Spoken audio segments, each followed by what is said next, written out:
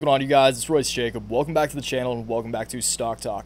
This is a series I make whenever I feel it's necessary where we cover some exciting news and price action in regard to some of the stocks we've been talking about on the channel.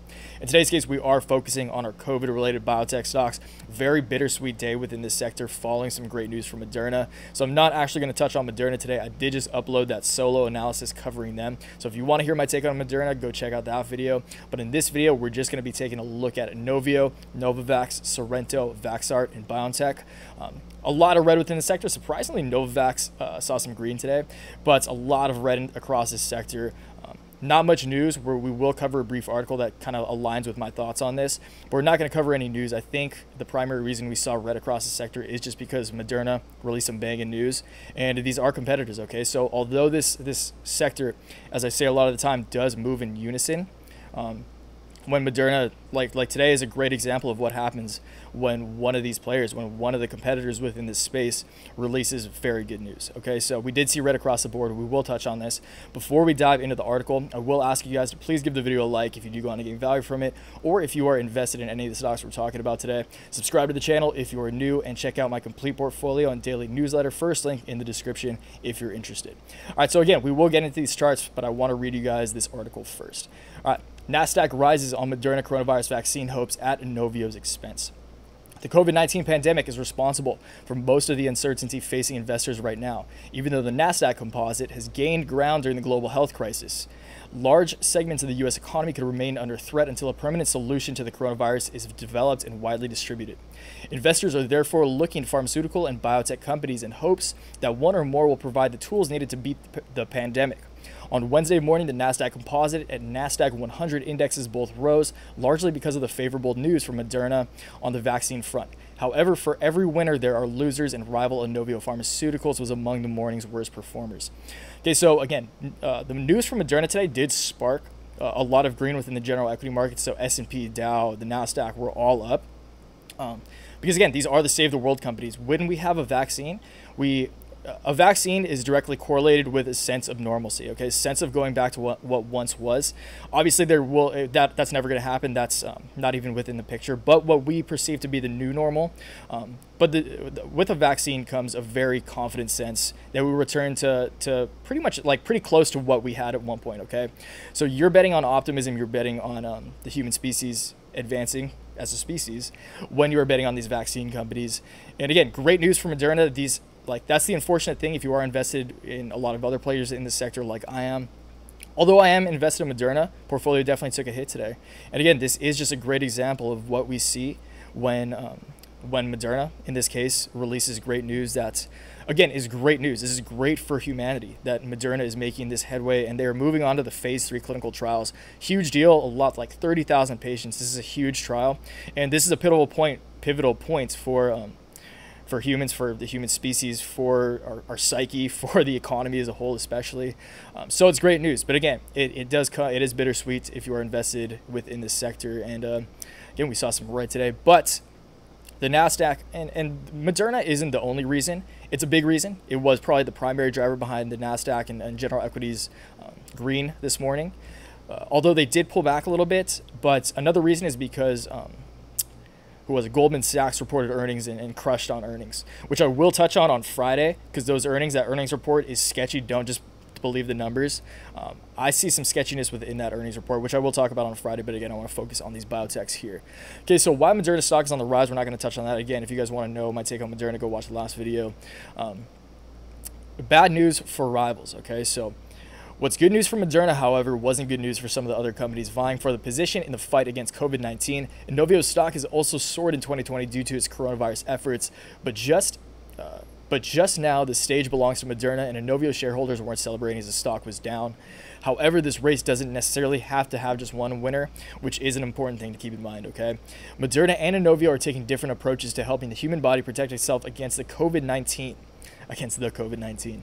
Inovio's use Inovio uses this guy needed to proofread this one more time. Inovio uses DNA plasmids to encourage cells to create defenses, while Moderna uses messenger RNA or mRNA, hence Moderna. Researchers may eventually find the best solution includes vaccines that use a combination of strategies to provide more complete protection. However, combination studies would have to be conducted to verify that even successful vaccines don't end up diminishing each other's effectiveness. Okay, so remember that, you guys. Moderna is just a single company, although they may like at some point maybe they have the IP. They if they do find a 100% uh, viable and effective vaccine, then they might subcontract a bunch of these other players to um, manufacture that same vaccine. But again, maybe Inovio, maybe Novavax, maybe some of these other companies who are using different technologies or even the same technology come up like just come out come out with uh, with an equally successful or um, if not more effective vaccine okay so that's always a possibility again, this is a volatile sector. This is a crazy, fast moving. As far as biotechs are concerned, this is about as fast and wild as biotechs can move. Again, crazy times. Um, but just stay optimistic. I, I do still hold positions in all the companies we're talking about today. I haven't just completely given up. Although I am the most bullish on Moderna at this point, just because they're objectively in the lead. Um, I am still bullish and uh, still confident that these could at least, at the very least, see a bounce. And uh, let's move into the charts right now so we can just get straight into it. All right, again, kicking it off with Inovio. We did see Inovio closing the day down 6.5%. Uh, can't see what after hours was, but they do have uh, Okay, that's that's not in the future. Never mind.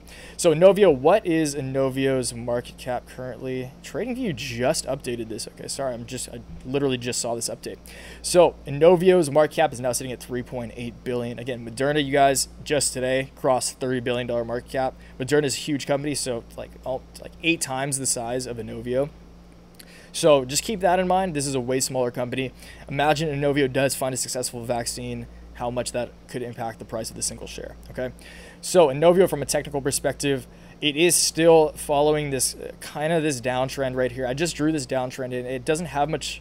Um, there's not much to look at here. There's not like aside from this and this right here that just sets uh, the other day. That's only like that's the only reason I drew this downtrend in.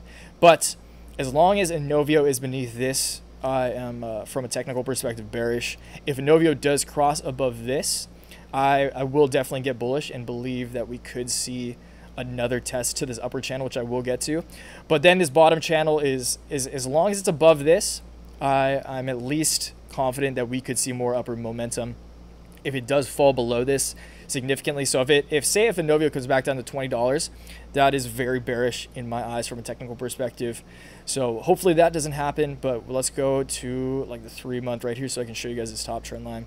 So this top trend line if we zoom out, does date back all the way to uh, to the end of March. So a high at the end of March, March 30th, and then I use this high um, at the end of April as well, and then obviously this high back here that's set at the end of June. Okay, so this I can see as a pretty stable trend line. If it does, if it does choose to break out of this lowering trend and just try to stay back within this channel again, which hopefully it does.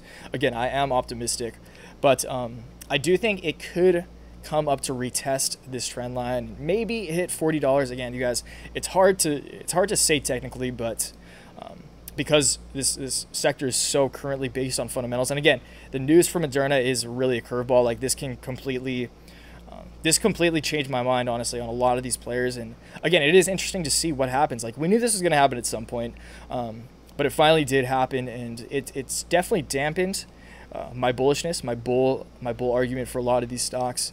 But I do still think there's potential. I do still think that news from Moderna will drive optimism from from other investors to uh, get invested and get capital flowing into the sector. So just again, always as always, guilty by association in a good way. I do think we could see these stocks at the very least bounce. I think they will bounce. Maybe they'll go sideways until they release some more good news. If they release good, good news, like really solid news, obviously they'll pop up, and that's just the game. That's just this sector.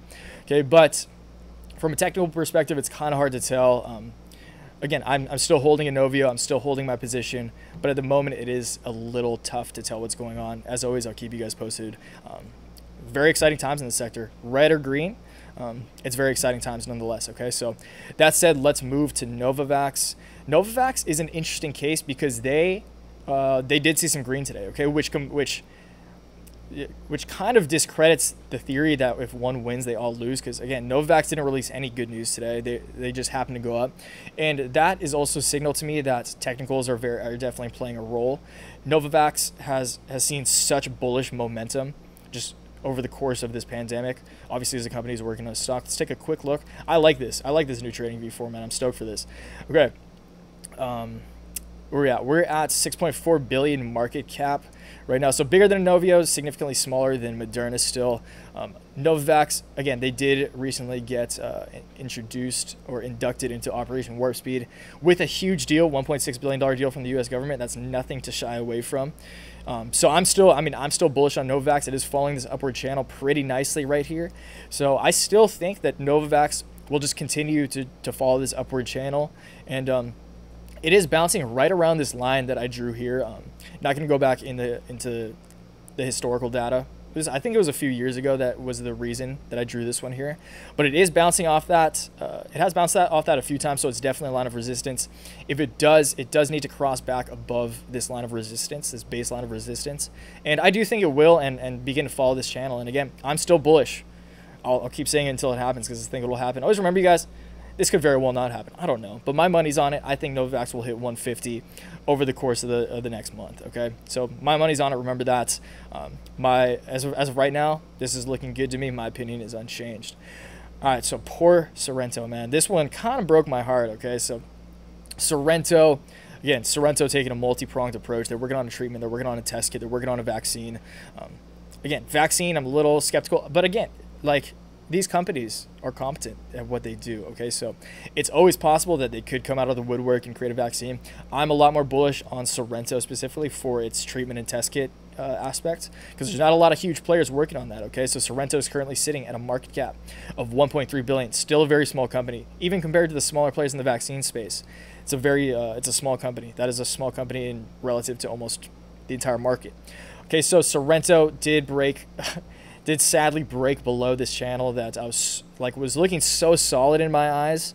Um, so it broke below this channel. Once it did that, it absolutely tanked. It fell off a cliff. Um, which again, super super bummed to see that. I did have a solid Sorrento position, so obviously portfolio hurt, but I was so confident in this trend line. It was just looking so steady, and it is it's definitely a bummer that I broke this trend line. Um, so if it if it goes below this, if it goes below this point at about I mean, that's a pretty wide range. You know what? Let's, let's zoom in. Zoom in. Sorry about that. Zoom in a little bit. What is that at? So that is around like the six. I mean, we're pretty close to that. So it's like 630. Um, if Sorrento does break below this this trend line, which is a new trend line I just drew today, which is like a very conservative trend line. Um, again, 17% down is, is a significant drop. So it's surprising to me considering again, they didn't like no bad news was released. This was just strictly technicals. I'm very confident it is, and this is a, another point as to as to why technicals do play a big role in today's market. Okay, so it broke below this trend line. Once it did that, it absolutely collapsed because it did break a, a very stable trend line that it was holding for a while. So that's that's definitely a bummer. Um, I can't imagine, I can't imagine Sorrento uh, continues to fall again because they they're making pretty good progress within the space. Not a lot of news, and again, this this sector is very you like this. Investors want news, especially in this market. They want things that things to happen fast, and again, this is this is biotech. This is pharmaceuticals. Things don't happen every day, but um, again, I I'm still bullish on Sorrento, even though it may not look great. Um, I do still think what I think might happen is that they could come up here and use what was this line of support as a line of resistance. So it might come up and bounce off this $8 region. Um, if it comes back up to $8, we'll, we'll really have to see from there. If it does bounce off that, then I know that, it, that it's using this as a line of resistance. And I will likely uh, reduce my position a little bit. But if it's able to break back above this and get back into this channel, then I will um, once again get bullish. Again, you guys, it's so subjective all of these positions are so subject to news, good news, bad news, whatever. So just keep that in mind. I'm just letting you guys know what I'm thinking generally from a technical perspective. RSI is very low on all of these. I forgot to mention that. Um, I'm again, I'm just looking at trend lines. Trend lines have played the most, uh, the most crucial and effective role, and they're so simple to look at. Okay, so again, RSI is curling up. I, I think the same thing. I'm pretty sure it's the same on all of these, maybe except Novavax. But these all saw significant corrections today. You're it's it's pretty obvious you're going to see a very low RSI. So um, I mean that's good. We'll probably see a bounce again. We'll see a bounce at the very least, I think, um, but we'll just have to see. Okay, so Vaxart, Vaxart is is looking. I mean, this was obvious that this was going to happen in my mind. I did talk about significantly reducing my position um, in the newsletter yesterday. So I did significantly reduce my position in Vaxart after this high. It's just again, it cleared past this this line of uh, this trend line or this line of resistance support, whatever it is now, um, yesterday. So I mean, we saw two consecutive great days in a row it's not often that you see a run like that without at least somewhat of a pullback. So it is pulling back. It is bouncing nicely. It actually closed the day like right on this trend line, right at its previous high at about like 1440. Okay, so if it breaks below this, then we have entered a downtrend in Sorrento, and I wouldn't be surprised to see it come back down to maybe like where it gapped up here around like the 12 like 1240 region. Um, so we might see a pullback to there, uh, but again, it's it's so subjective to news and, and what happened, like how this impacts investor psyche. So I'm just keeping an eye on it. Um, as, if it stays within this region and goes sideways, then that that does make me more bullish that it could see another move up. And if it does break above this line, again, it's 1640. Again, now now it has to break past its previous high. So if it does break past its previous high at about seven, say if it gets to 1740, I do think we we could see a move significantly up to like significant move up to about $21. Okay, so let's take a look at. Um, at their market cap after today. So they're sitting at about exactly $1 billion market cap, give or take. Um, still a small company. Okay, so roughly the same size as Sorrento as a vaccine company. Vaxart recently initiated into Operation Warp Speed. So we'll see what happens here. Again, this is still a very bullish chart. The short term is is a little bearish, and again, I'm I'm personally still figuring out how I want to grasp the news, and, and only time will tell, to be honest, of how this Moderna news will, um, if it will have a lasting impact on the on the sector in a negative way or if it will draw more attention to the sector and cause more capital inflow, which will inflate a lot of these stocks. So we'll just have to see. Finish it off by touching on uh, BioNTech, BNTX. So BioNTech is still like not much here. I still think it'll follow this sector. Uh, stochastic RSI is curling up nicely, which does make me think it'll, on an hourly at least, which does make me think it could see a bounce. Um, traditional RSI is pointed down though, so we'll have to see there. But again, just following this general trend line uh, at, at the wor worst case scenario in my mind is it comes and bounces off off this uh, lower line of support at about $75. Um, best case scenario is we do see a bounce and it comes back up to retest this upper line of support, you guys. But for full transparency, I did I did slightly reduce. I mean, my Vaxart position is pretty small, so I'm not I'm not like my financial well-being is by no means reliant on Vaxart's performance, but um, I mean, we'll just we'll really just have to see. It's kind of hard for me to articulate what I'm thinking right now, just because it's so um, it is so subject to change, especially after this news from Moderna, you guys. So I still do hold positions in all of these. I'll close it off there um, with Vaxart. I or, or sorry with BioNTech. We could we could very well see this come up and retest this again. This is a solid channel. Just keep an eye on these channels, you guys. I do recommend um, if you don't have TradingView, just go on TradingView and start looking at these at, from this perspective. Draw your own trend lines. Draw what you believe to be good trend lines, and um, just keep an eye on those and definitely use those because again, more traders are entering the market. This is becoming a market of traders that is that is catalyzed by news. So just keep that in mind. Keep an eye on these trend lines, and um, always do your own research, guys. Always do your own digging. This is just my perspective. And again, it's kind of hard to tell right now. Where this is very new territory. It's very uncharted territory. So just make sure you're learning every day. You're taking. um, you're really you're really being mindful of of what news is doing to other stocks, of what news is doing to those stocks. So um, yeah, just keep that in mind and we'll close it there, guys. Again, if you want to know exactly how I'm trading these positions, exactly what my positions are in these companies, um, check out my complete portfolio daily newsletter. First link in the description, exactly as it states. It's a complete breakdown of my entire portfolio. Um, along with that, I do send out a daily newsletter talking about the trades I made that day, rationalizing my thoughts, and giving you my thoughts in real time about the markets and just what I'm thinking um, in general. Okay, so check that out if you are interested. If not, no worries at all. But until next time, guys, always remember take action, make waves. Peace. All right, later, later.